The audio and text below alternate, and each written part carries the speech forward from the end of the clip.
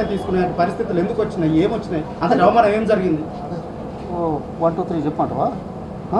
మరోసారి కూర్చున్నాను మీకు అన్నీ తెలుసు. ప్రతిదీ తెలుసు మీకు. తెలియనట్టుగా ప్రజలకు మీరు చెప్పిన ఇదివరకే చెప్పినారు. మళ్ళీ చెప్తాను. ఓకే. మీరు ఢిల్లీలో అవమానం జరిగింది. విల్ మీట్ అగైన్ ఎవరి ఎవరి ఎవరి ద్వారా ఎక్కువ అవమానాలు పొందారు? సార్, ఢిల్లీలో అవమానం నా లేఖ చాలా స్పష్టంగా ఉంది. నా లేఖ చాలా స్పష్టంగా ఉంది. దయచేసి ఆ లేఖను చూడండి. చదవండి. అంటే ఇండివిజువల్గా ఉంటారా? పొన్నాల గారు పార్టీని వీడారు రిజైన్ చేశారు. ఏదైనా పార్టీలో చేరబోతున్నారా?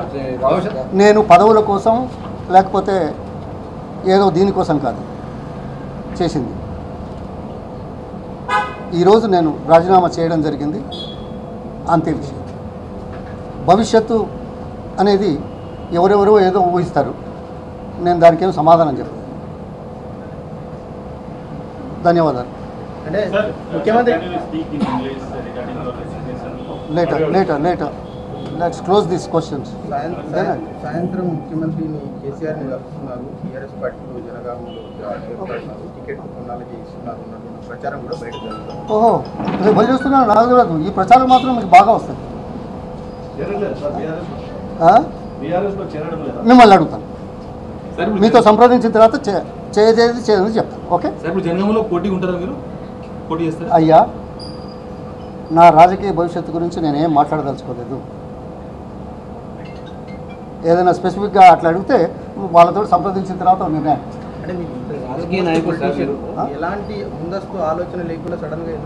అరే ముందస్తు ఆలోచనల కోసం మీరు అడుగుతున్నారు కదా? ఆ? చాలా సంతోషం. నేనేం చేయలేదు అని చెప్తున్నాను. అది మీకు రుచించట్లేదు. నేనేం చేయాలి? గడిచిన రెండున్నర ఏళ్ళుగా నాకు అవమానాలు జరుగుతున్నాయి. అంటే రెండున్నర ఏళ్ళ నుంచి అవమానం ఉంది అంతకుముందు అంతకు ముందు కూడా ఉన్నాయి ఇప్పుడు ఉన్నాయి. రెండున్నర ఏళ్ళ నుంచి కొద్దిగా ఎక్కువగా ఉంది. ఆ? అది మీకు తెలుసు. గతంలో ఏం జరిగింది మీకు తెలుసు? ఏ నాయకుడికి జరిగినటువంటి అవమానాలు నాకే ఎందుకు జరుగుతున్నాయి అనేది కూడా మీ ముందు ఎన్నోసార్లు మనం మాట్లాడుకోవడం. ధన్యవాదాలు. అయ్యా నేను నా లేఖ ఇచ్చాను నా భావాలు చెప్పాను. మిగతా వాటి గురించి నన్ను అడిగితే నేను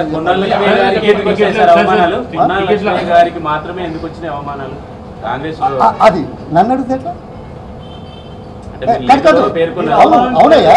నా నేనే విక్టిమ్. విక్టిమ్ అడిగితే ఏం చెప్తాడు? పార్టీలో పైన అర్థమవుతుందా